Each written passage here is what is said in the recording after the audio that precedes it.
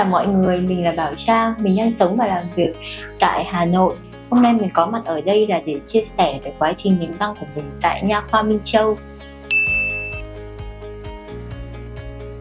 Trước đây răng mình là hơi khắc khảnh và là khớp cắn ngược thì cũng khá là thẩm mỹ cho nên là mình cũng ờ, muốn đi niềng răng từ rất lâu rồi thì ờ, sau quá trình tìm hiểu cũng ờ, uh, lướt trên uh, Facebook rất là nhiều. Thì sau đấy là mình đã lựa chọn nha khoa Minh Châu để uh, đến điện và để điều tâm. À, mình có tham gia một cái group là hộ niềm răng ở trên Facebook.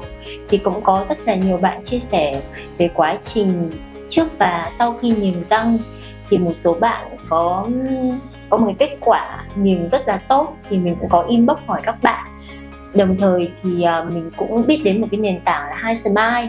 Thì à, mình cũng à, inbox hỏi hai smile thì sau đấy mình thấy là có sự trùng hợp giữa hai smile giới thiệu và các bạn các bạn đã nhìn ngang rồi giới thiệu thì mình biết đến nhau khoa Minh Châu.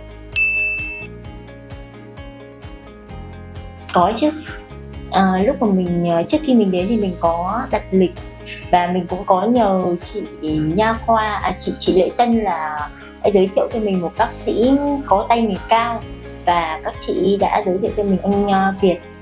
Thì khi mà đến khám thì mình cũng không phải chờ lâu đâu mình chỉ cần điền thông tin cá nhân vào trong một uh, tờ khai sau đấy thì độ khoảng 5 phút sau thì anh Việt anh ấy uh, có ra kiểm tra răng cũng như xem uh, phim xem phim uh, chụp phim trước đấy của mình để để anh đưa ra phác đồ.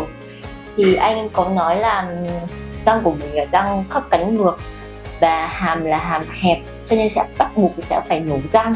Nếu không nhổ răng thì sẽ ờ, khô anh ấy cũng hỏi ý kiến của mình xem lại là có ừ, cái mong muốn của mình sau khi nhường răng là như thế nào.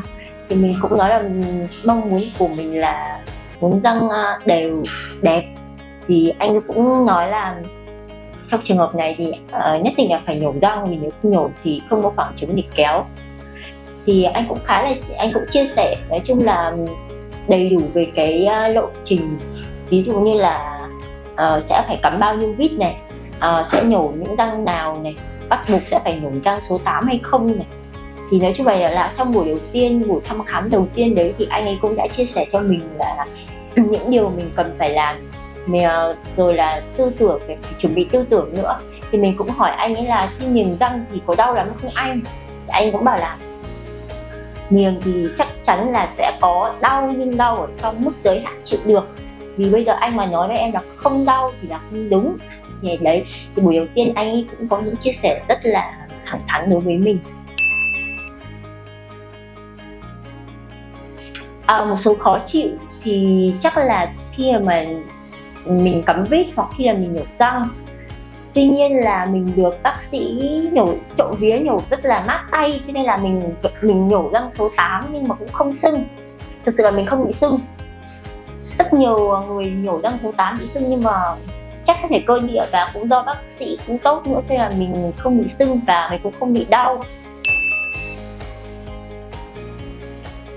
Mình rất là hài lòng bởi vì là răng mình đã đều và đẹp hơn rất là nhiều và mình đã tự tin hơn rất là nhiều nữa. Trước đây thì mình không dám cười nhưng bây giờ thì mình đã có thể cười một cách thoải mái hơn rất là nhiều rồi. Và mình tin là sắp tới công việc cũng như là cuộc sống mình sẽ có nhiều sự thuận lợi hơn. Mình muốn cảm ơn uh, mình muốn cảm ơn bác sĩ Việt cùng với các uh, anh chị đội ngũ ở nha khoa Minh Châu đã giúp cho mình có một cái uh, cười rạng rỡ như hôm nay. Mình cũng có một lời muốn uh, muốn nói đến với các bạn đồng nghiệp đấy là mình đang sớm một hôm thì đẹp sớm một hôm tháo sớm một hôm.